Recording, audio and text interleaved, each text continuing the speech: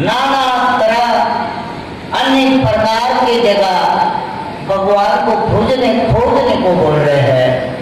लेकिन आपके सदगुरु रविदास, वो आपके अंदर खोजने को बोल रहे हैं।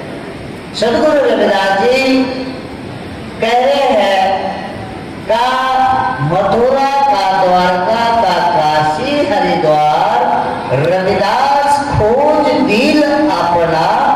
मिलिया दिलदार। तो ये हमें कुछ समझने की ज़रूरत है। सदगुरु रविदास जी का जन्म 642 साल हुआ। लेकिन सदगुरु रविदास जी के अनुवाई को तक ठीक तरह से पता नहीं है। उसके कारण क्या हो सकते हैं? उसके कारण एक तो हम समझे नहीं। दूसरी बात, उसको समझकर हम उसको मान रहे नहीं, या हम उसका प्रचार कर रहे नहीं। आप इस देश में जाति में अगर देखा जाए तो अगर कौन सी जाति सबसे ज़्यादा है तो सतगुरु रविदास जी की जाति सबसे ज़्यादा लोक संख्या है। आपकी लोक संख्या 25 करोड़ लोग आप हैं।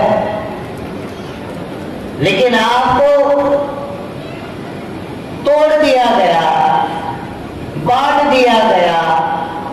आपके जाति में जाति जाति में जाति जाति में जाति 1108 उपजाति इस देश में रविदास जी के लोगों की है।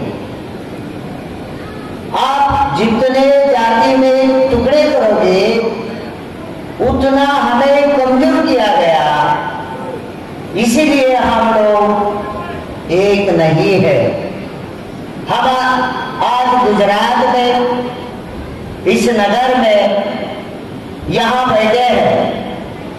तो इतने ही लोगों को देश के बारे में पता होगा आपको पता है आपका तमिलनाडु में रहता है आपका तेलंगाना आंध्रा में रहता है आपका कर्नाटक में रहता है आपका महाराष्ट्र में रहता है आपका गुजरात में रहता है जैसे आप राजस्थान हो हरियाणा पंजाब जम्मू कश्मीर हिमाचल उत्तराखंड यूपी बिहार झारखंड बंगाल आप देश के बाहर भी है आप ओरिजिनल लोग मलेशिया में है सिंगापुर में है आप ओरिजिनल लोग आपके जो है श्रीलंका में है नेपाल में है भूटान में है पाकिस्तान में है।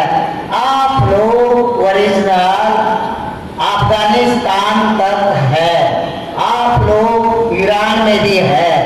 आज देश में सबसे ज़्यादा अगर सदगुरु को किसी ने जाना पहचाना तो पंजाब के धरती के महापुरुष लोग, उन्होंने गुरु रविदास जी को जाना भी, पहचाना भी और धारण भी किया। अगर आज पंजाब के लोगों देखेंगे तो आज दुनिया के कोने में वो लोग जाकर बैठे हैं। और दुनिया के कोने में उन्होंने अपने समाज का झंडा और अपने धर्म का झंडा गाड़ा है। यहाँ से यहाँ से जो यूरोप के अंदर पूरे देश में सदगुरु रविदास जी का प्रचार हो रहा है बड़े बड़े प्रार्थना स्थल है कनाडा राष्ट्र है कनाडा के धरती के ऊपर अरबों करोड़ों रुपए के आपके धर्म के प्रार्थना स्थल है आपके लोग अपने देश के अंदर से पराया देश में जाने के बाद भी वो अपने समाज को अपने धर्मों को वो उसका का संभाल कर रहे हैं और उनके कमाई का दान वो वहाँ कर रहे हैं जीवन में आप लोग धर्म में गिना गया तो पहला तो आपको धर्म का पता होना चाहिए। धर्म हर जीव का एक है। हर जीव का एक धर्म है। अगर हम इंसान है तो सभी इंसान समान है। उसमें नर नारी, ये दो जीव है तो इनका भी धर्म लेकिन यहाँ धर्म समान नहीं है।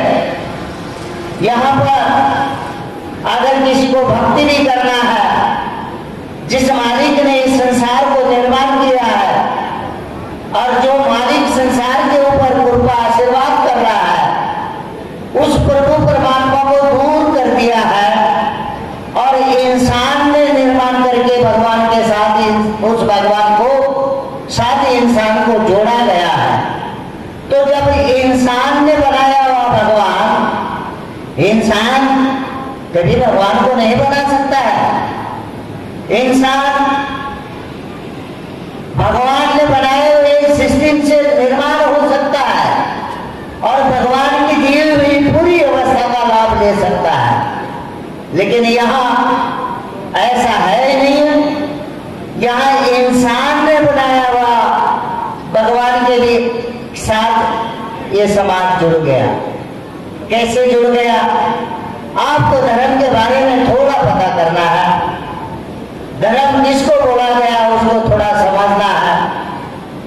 तो धर्म, अगर आप हमारे जिस कल्चर में, जिस संस्कार में हम हज़ारों सालों से हज़ारों पीढ़िया हम अभी तक यहाँ तक आए हैं तो ये इसकी धरोहर जो है कैसे है तो इसकी धरोहर मानव को नीच ऊंच भेदभाव करने वाली है इसीलिए उस विचारधारा से जिसको ज्ञान प्राप्त हुआ, जिसने इस अवस्था को समझा, उस विचारधारा से लोग बाहर निकले।